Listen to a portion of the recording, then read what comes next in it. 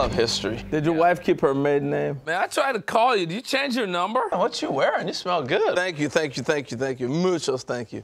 Yes, the pen is mightier when it belongs to uh, our friend Anthony Castrovince. Maybe the pun is mightier. AJ Preller never ceases to amaze.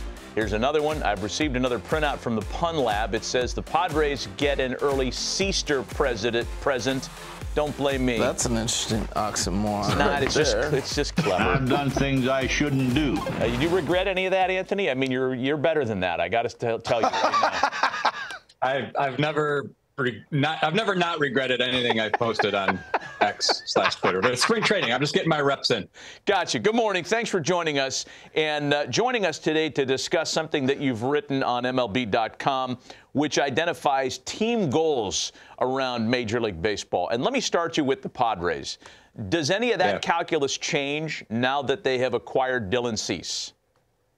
I mean, their their playoff odds certainly improved, but it, it doesn't change the bottom line, which is this team has to win close games. That's that was the key to a difficult 2023 season, a season that was really historically significant in that. And this team is top three and pretty or uh, upper third in, in baseball in pretty much every major offensive and pitching category, and still missed an expanded postseason because they just did not win these close games. I mean, you look at that nine and 23 in one run games. They went two and 12 in extra innings. That shouldn't even be possible. Uh, so, you know, they're going to look a lot different without Juan Soto, but I still think, you know, this could be a playoff team. I, I think just regression to the mean in those close and late situations. I looked at it in history. They've had two of the five worst uh, team batting averages in close and late situations just in the last five years, 2019 and last year. So uh, you'd expect some better luck in those situations. Anthony, I think everything you're doing is wonderful, bro. You think you're doing a great job. Thanks, I thought Harold was off this week. You got on the Braves, man? Chris Sale going there, uh, coming in as a number four starter. What do you got on the Braves?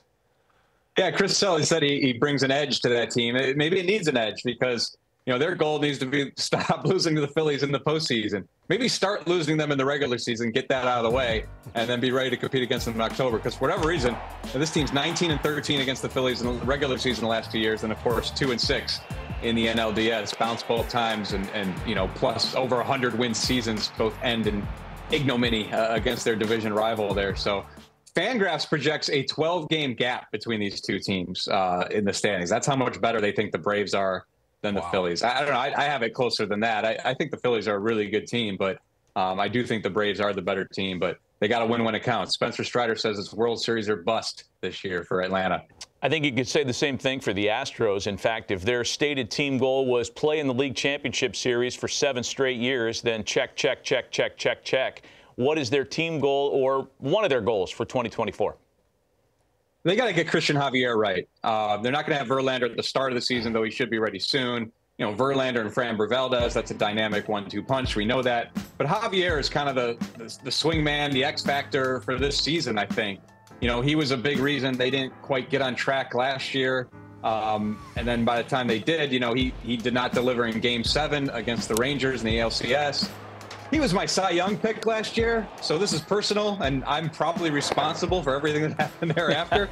but you know, he goes from 100, a uh, a 150 ERA plus in 2022, that's 50% better than league average, to 8% worse than league average last year. Did not get as much swing and miss. You know, the fastball was not the force it once was. I I think his his release point was a little off. So yeah, they got to get him on track. He, he's huge for them.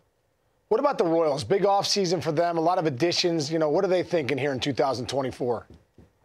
Yeah, they're, they're trying to go from 106 losses to the playoffs. There's only been one team in history to go from 100 plus losses uh, to the postseason. That was the 2016 uh, to 2017 Twins.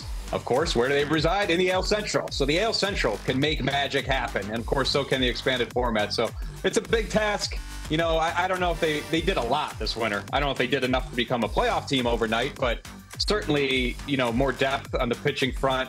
And they should have, you know, I think MJ Melendez at the top of their lineup. I think he's a breakout candidate based on his batted ball data. Then you got Bobby Witt Jr., Sal Perez, of course, and then Vinny Pasquantino in the cleanup spot coming back from shoulder surgery. I mean, that that's a, that could be a pretty decent top of the lineup. And then Cole Ragans, he's got some of the best stuff in baseball at the top of the rotation. So I don't dismiss them being more competitive. I, I don't know if they're a playoff team, but I will say I was in Royals camp the other day, and our friend Harold was there to talk to their minor leaguers, and that could be the key to their future right there. That, that could set Kansas City on a whole different trajectory.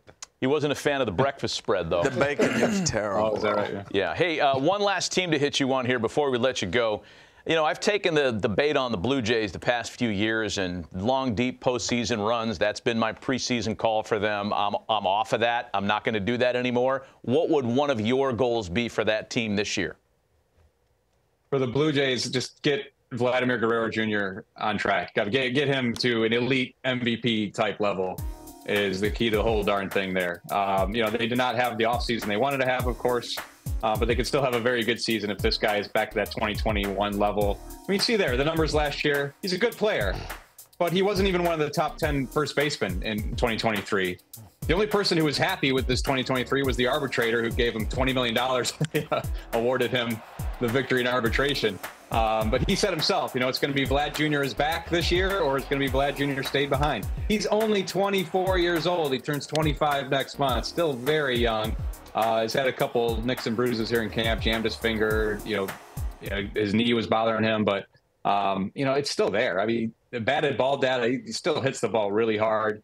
He still avoids the swing and miss. I mean, th- this guy could be an MVP type performer, but they need to see it.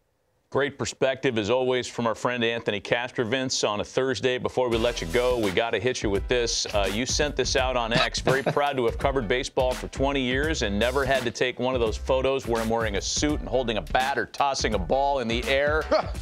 Uh, we did it for you. Oh, yeah. There we go.